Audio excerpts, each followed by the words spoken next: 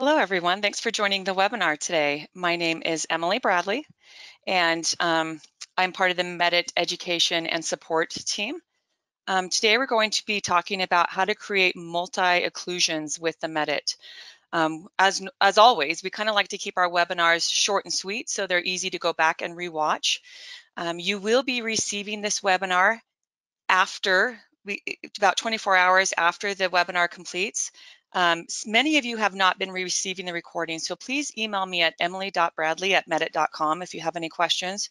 Um, I'd also like to hear from you if you have questions about different tools and apps you'd like to use. Um, we'll go ahead and build a webinar around that. Um, so anyways, we look forward to hearing from you. Um, as always, we will be taking questions. So if you do have any questions, just go ahead and click the little chat box on the control panel on the right-hand side of your screen.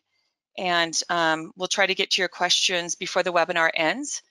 Um, and again, I just really want to kind of reiterate, we want to hear what you want to learn more about. So we want to make this about the end users.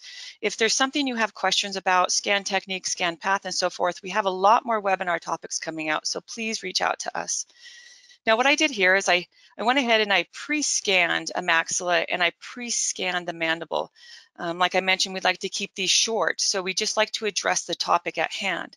So if I hover over this next scan stage, it's going to pop up that occlusion. Um, okay, so you'll see that the icons at the bottom of the page change uh, when I switch to occlusion. And you, I have two options here at the bottom. I've got first occlusion and I've got second occlusion. Okay, so what we're going to do first is we're going to take basically centric occlusion. It would be the same as having a patient bite down and placing the scanner in their buccal corridor and scanning up and down to pick up that information.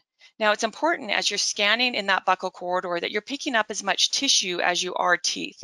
You want to give the software as much information as it can to match up to the maxilla and mandible that you've previously scanned. And you can see as it turns green there, that um, it's registered that bite. And also if your sound's on, if the audio is on, you'll be able to actually see um, or hear kind of a, a ding ding. Um, and now we're going to go ahead and take the second occlusion. So we'll place a scanner on the other side. You'll say you'll see kind of due to the model that I'm scanning right here that um, I'm going to start, start a little further forward on this one just because um, I have a dentulous area and I find on this model anyways, I have a little bit easier time taking the bite um, if I start a little bit further on the teeth and work my way back. Um, generally speaking though, I think it's really important to start towards the back of the mouth and scan vertically up and down as you pull the scanner out of the mouth. Um, the cheek will give you least less resistance at that point in time. Okay. So we've got our first occlusion and our second occlusion. And what I want to show you here if it registers within the first two teeth, let's say it goes green really quickly, you still want to keep scanning and pick up a little bit more information there. It's really helpful to give that to your laboratory. It's just nice to have more information um, as far as, as the bite goes. So we've got our first occlusion and second occlusion here. Now, if I go over to the left-hand side here, you see this is the multi-occlusion tool. So this will allow me to add more occlusions and they're actually called occlusal relationships. So if I click on this little pin here, I can change the occlusal relationship to whatever I would like the name to be. And generally, I would suggest that you change it to maybe the sleep device that is being manufactured, you know, with the second occlusion or, or this the different occlusion. Um, but because we're not super creative today, we're just going to type um, second occlusion here. Well, that's what we'll name it. And again, um, to open and close any tool, you're just going to click on it again if you want to get that box out of the way. Um, you can see there our first occlusion, occlusal relationship, and then our second occlusal relationship. So what I'm going to do is open the model just a little bit, and I'm going to go ahead, just like I did the first time, place the scanner in the patient's mouth, and we'll go up and down vertically as we pull that scanner out of the mouth. Now, generally it's nice to scan on myself or on a person, but when I'm doing these webinars, um, it's nice to have a model so I can kind of talk through them. Um, you can see it goes green as soon as it registers there. And then just like we did for the first occlusal relationship, we need to click on our second occlusion. Now, if I was doing a, um, a quadrant scan, I obviously would only need one occlusion. So let's go ahead and pick up the information here, go vertically up and down. Very good. Okay, so we've just registered our first and second occlusion for our second occlusal relationship. So now what we can do is look at the differences between these occlusions. Let me move this model out of the way here so we have a better view here. So let's go ahead, click on occlusal relationship two. You can see how that mandible dropped open, occlusal relationship one. So you can see the difference between those two occlusal relationships. So let's go ahead for the fun of it and let's create uh, an occlusal relationship two. Now we know that we can rename this if we want to based off of our need for this third occlusal relationship. But for this webinar, we're just going to leave it as occlusal relationship three.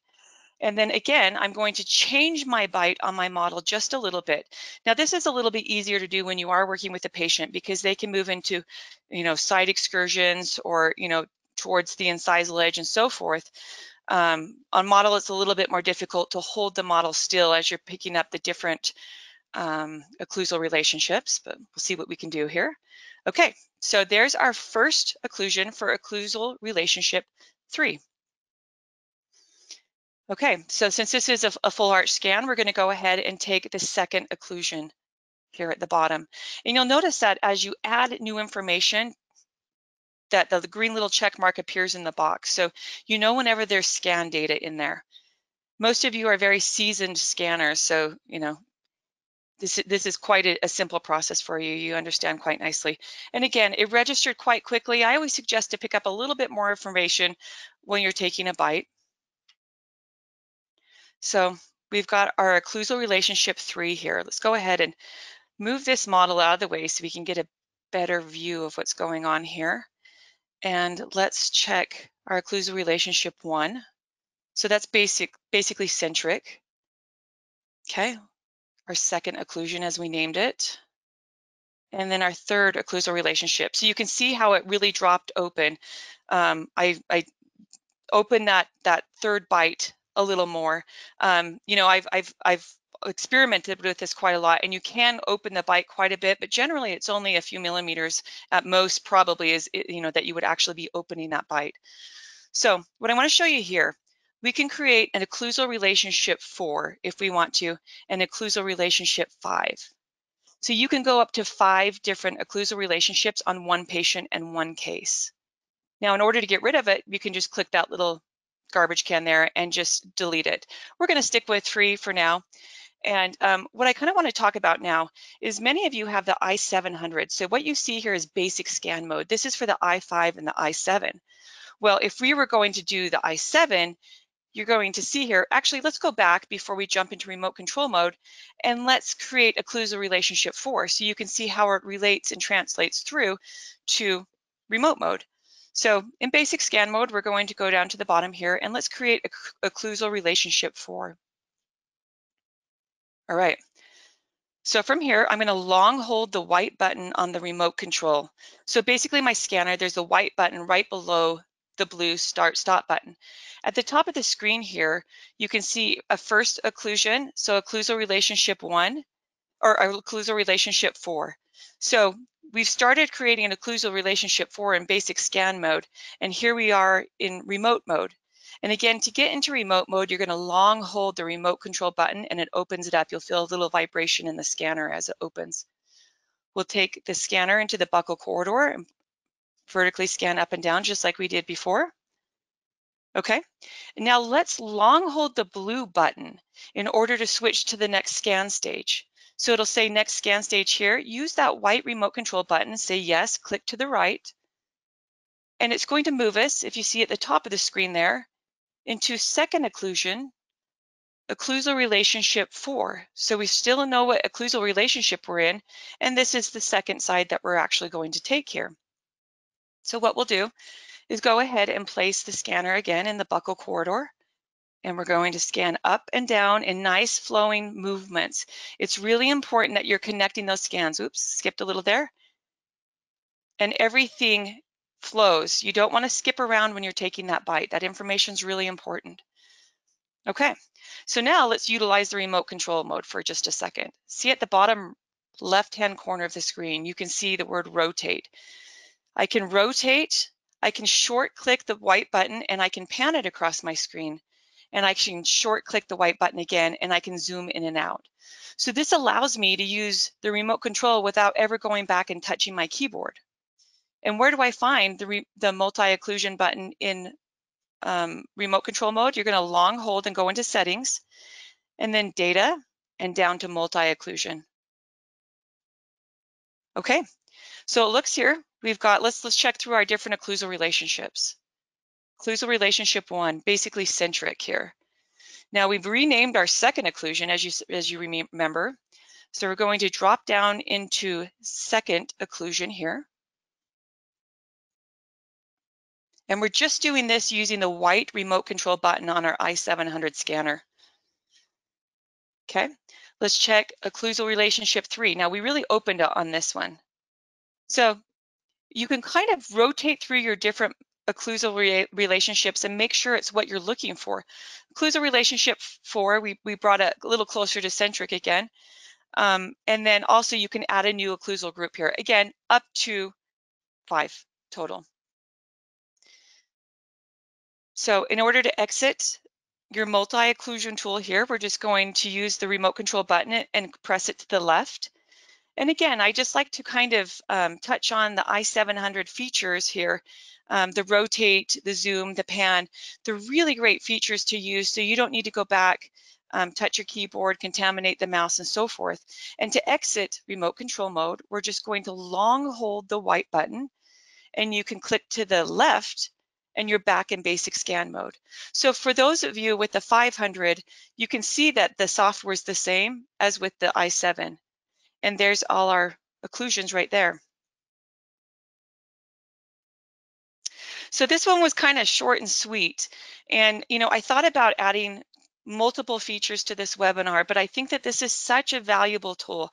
Like I said, we like to keep these webinars kind of um, short so they're easy to go back and watch and create a library for you of specific tools and specific scan techniques and details. So it's really easy for you to tune in later um, so I hope you enjoyed it. I hope this was helpful. Um, please email me directly again at emily.bradley at medit.com if you are not receiving the recordings. And if you have something you would like to learn more about, we'd love to hear from you.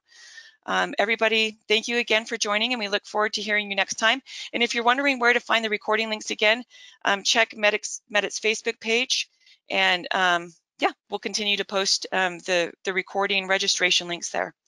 Okay, thank you and have a great night. Bye-bye.